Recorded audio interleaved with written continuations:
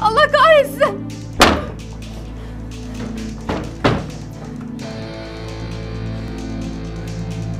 Peki, madem öyle...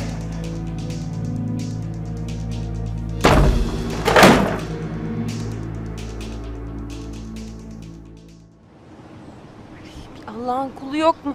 Biri yardım etsin. Efe. Efe ne olur kendine gel. Gönül, hocam siz iyi misiniz? Çok şükür Efe nasıl korktum ya. Aa, Korkmayın hocam ya. Siz iyisiniz ya. Gerisi dert değil. Saçmalama çok kötü vurdu çocuk. Ya ben de bir tane çok sağlam vuruyordum da siz bağırınca benim de dikkatim dağıldı. Aa, Bırak şimdi hadi hastaneye gidelim mi? yok hocam ne hastanesi? Bak çok kötüsün ama. İyi, yani iyiydik böyle ama Hadi kalkmayı deneyelim o zaman. Ya deneyelim. Hadi yavaş. Yavaş. Bak ben saklambaç oynamayı bırakalı çok oldu. Gel beni uğraştırma. Neredesin kızım? İşte buradayım.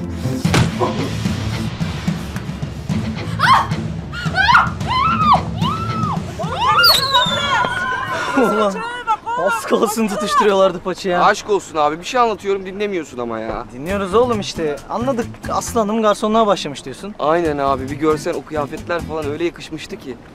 E ne güzel işte bak. Mezuniyet çok pahalı gelemem diyordu. E biz ona orada bir garsonluk işi ayarladık mı? Tamamdır. Öyle deme be abi bu sefer çok farklı görünüyordu diyorum. Böyle makyaj falan da yapmıştı. Allah'ın ineğine aşık mı oldun yoksa ha? Vallahi benden söylemesi bu tip inekler pek süt vermezler genelde. Yani lazım olunca ders verirler haberin olsun. Ha, bu da bana adeta bir ders oldu abi sağ ol. Sen beni ısrarla ciddiye almıyorsun ama böyle yerdeyken öyle bir an oldu ki kalkarken böyle bir anda göz göze geldik.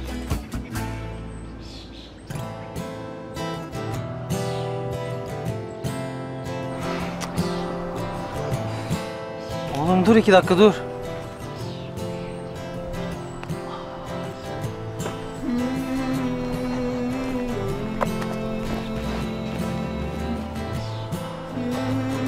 Yapıyor ya bunlar?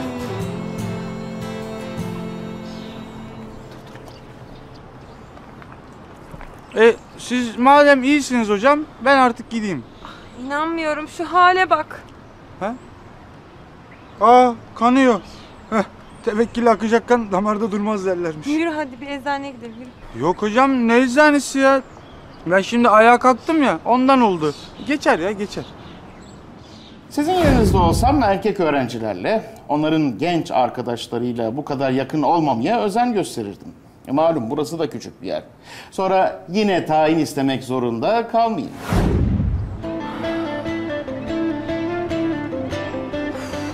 Of yine aynı hataları yapıyorsun. Yürü hadi gidilmez böyle bir yere tampon yapmamız lazım. Ya nereye gideceğiz hocam şimdi ya? Yürü Efe hadi itiraz istemiyorum eve gidiyoruz yürü. Eve? Hangi eve? Sizin eve? Hadi Efe. Aa hocam başım dönüyor galiba. Of Efe of. Ah. Ah. Aa. Abi ne yapıyor bunlar ben hiçbir şey anlamadım. Her şeyi anlama zaten. Yürüdüklerin yeter. Yaktım sizi bir taşla kuş katliamı.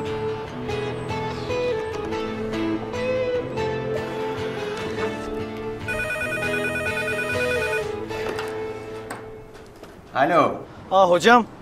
Ee, az önce Gönül hocamızı Efe arkadaşımızla sarmaş dolaş bir eve girerken gördük. Ne diyorsun evladım? Vallahi biz de anlam veremedik hocam. Belki bilmek istersiniz diye düşündük. İyi iyi adresi ver hemen. Adres. Adres kolay hocam. Yazabiliyor musunuz?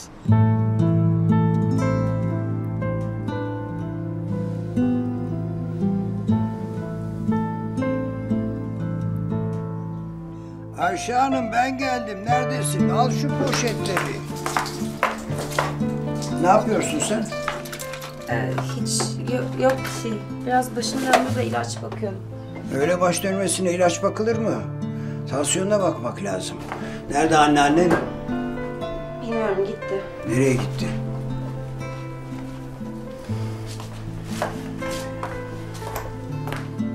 Yani benden onu affetmemi istiyorsunuz öyle mi? Bunu isteyemem evladım. Ama karşında artık hatasını anlamış biri olduğunu bilmen belki olayları yeniden gözden geçirmeni kolaylaştırır diyorum.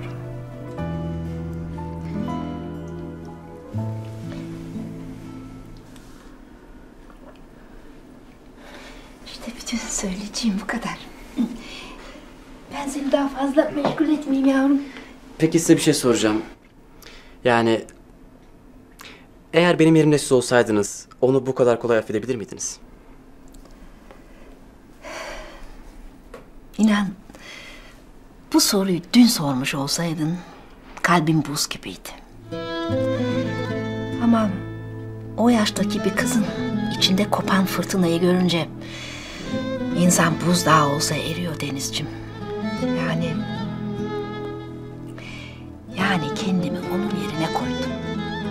gördüm ki anladığımız her şey çok farklı. Sanırım o da kendini bizim yerimize koydu. Ve daha çok geç olmadan hatalarından dönmek istiyor.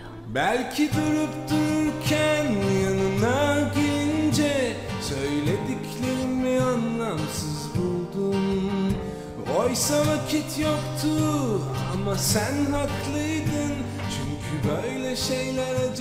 Biliyor musun? Hep gülümsüyorsun. E bunun nesi kötü? İçimden bir ses bu güzel yüz bir şeyler gizliyor diyor. Yani ben gerçekte kim olduğunu bilmek istiyorum. Nasıl kaybettim seni Deniz ben ya? Güzel güldün o akşam bana